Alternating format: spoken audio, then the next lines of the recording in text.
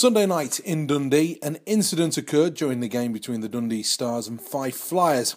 At approximately 16.56 of the third period, Fife Flyers defender Tom Muir delivered an elbow to the head of Dundee Stars Chris Blight.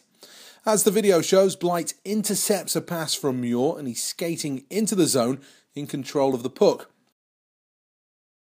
In an attempt to stop Blight continuing into the zone on goal, Muir recklessly extends his elbow and drives it upwards, making principal point of contact with Blight's head.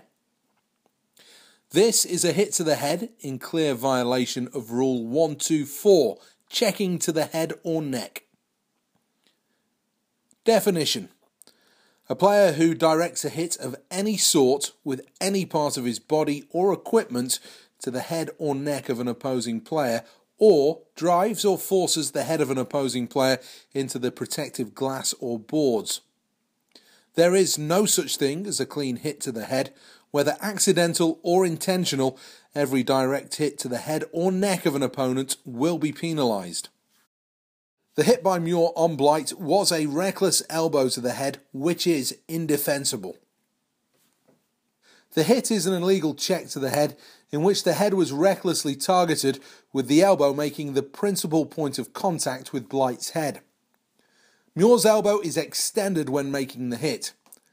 There is no intent to play the puck. The hit is avoidable. Blight did not make any sudden movements just prior to contact. And there is an apparent injury to Blight as a result of the hit to the head.